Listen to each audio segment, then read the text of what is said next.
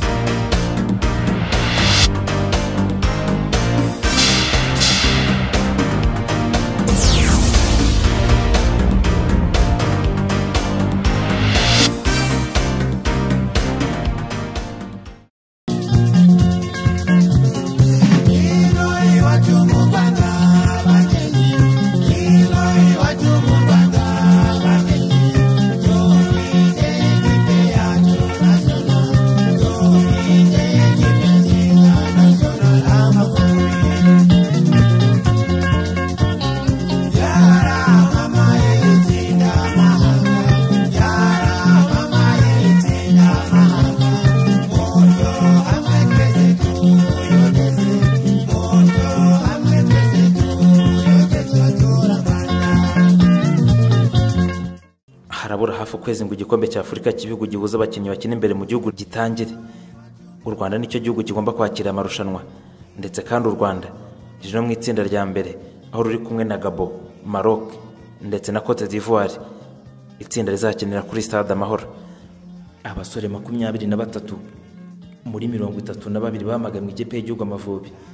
Nibo batangiye imyitozo yo kwitegura amarushanwa. Imyitozo ku munsi wa mbere yabereye ku kibuga cya kicukiro. Hari kuri wa gatatu tariki ya cyenda ukuboza bibiri na cumi na gatanu.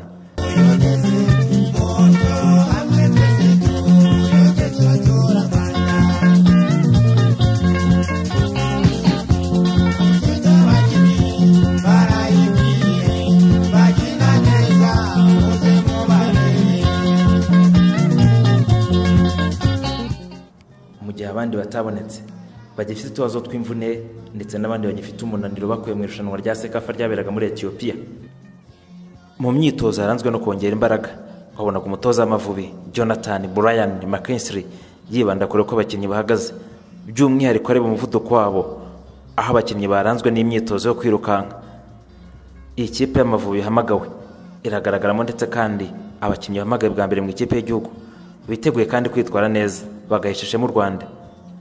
Muhajiri hakizimana ni umukinnyi hagati mu ikipe ya mukura. Ni ubwa mbere yahamagawe uyu kandi ni na murumuna wa kapitene w'amavubi ya runa niyo nzima ku giti cye ngo yizeye kongera imipira igera kuri ba rutahizamu. Ariko ngo n'imyitwarire yamuranze mu minsi ishize yaje gutuma yitekerezaho. Arakora cyane. Icyo ashyize imbere ni ugukomeza gukora cyane. Kandi akizera ko imana izamufasha. Mbere na mbere ndashimira imana kuba ndi ngeze muri ekipe nasiyonari burya umu- umukinnyi wese ntabwo akina ngo krebe twese turakina kugira ngo tujye muri ekipe nasiyonari ndishimye cyane kuba ndi muri nasiyonari ariko mbere na mbere ngomba gukora kwanza kugira ngo bigende neza Umu- umukoca angiriye icyizere n'inkora biza- bizagenda neza imana ko izabimfashamo. Kubataka mbere mbere avuga kubataka ntabwo urabona imipira mike bitewe na match nabonye ariko na- nanjye ndaje nk'umumediyateri gukora cyane byibuze kugira ngo amantrenema bazaduha yo gukina ku buryo koca nzamwereka ko byibuze imipira yanjye ijya imbere cyane kurusha uko abandi byari bimeze. Ibyo byose nzakora mbese ku buryo nawe ubwo azabona ko ndi umukinnyi mwiza. Ibyo ntabwo ariko bimeze urabizi buri wese ntabwo aba afite ukuntu atekereza. Njyewe mfite ukuntu kwanjye ntekereza nawe ufite ukuntu kwawe utekereza ariko njyewe ku giti cyanjye ntabwo ari- gutyo bimeze ntabwo ndi disipurine sinzi wambwira natutse nde ku buryo wambwira ndi disipurine yesi kuge- kugenda mvuye kuri okare ntabwo mfite utubazo twanjye nameze neza umukoca ariko ubu urabona ko tume- tumeranye neza nta kibazo. Nabyo ndabishimira imana kuba nicara nkatuza ibyavuzwe byaravuzwe buno ni ugukora iza kugenda igenda izamuka izamuka The other important thing is you keep going until you are told to stop. Doesn't matter if you're the last person. We've got 23 people here.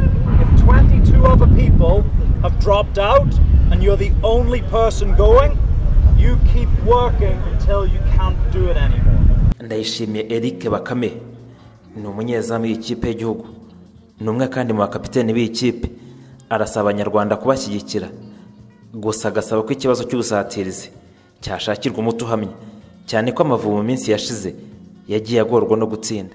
Numva ko batagakwiye kudutererana. Nk'uko twabikoze muri sekafa numva ko no muri cani bishoboka. Kandi navuga ko cyane cyane nk'uko umutoza yahamagaye abakinnyi benshi kugira ngo abone kandi urabona ko twatangiye imyitozo hakiri kare kugira ngo agende abona abone igihe kirekire cyo kujya ku- kureba abakinnyi bose muri rusange. Urabona ko turi abakinnyi benshi numva hari n'abandi basigaye bafite ibibazo by- by'uburwayi nabo bagomba kuza kugira ngo byibuze tuzajye kugera mu kwa mbere ku mukino mu mu mukino wa cani dufite nava ikipe eh, ibanza mu kibuga ifite imbaraga kandi igaragarira buri umwe wese na buri munyarwanda wese yibonamo.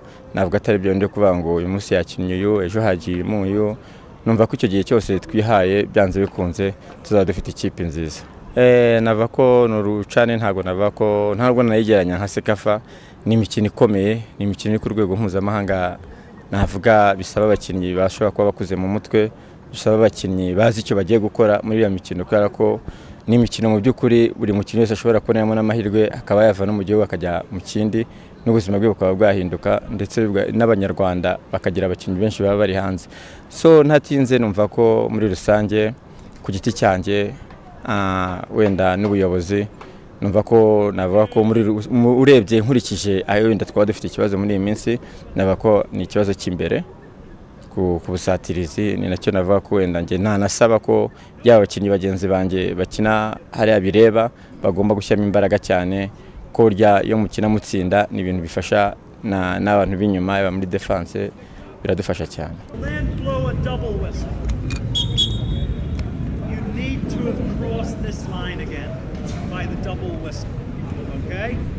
If you're not across the line on the double whistle, you lose a life.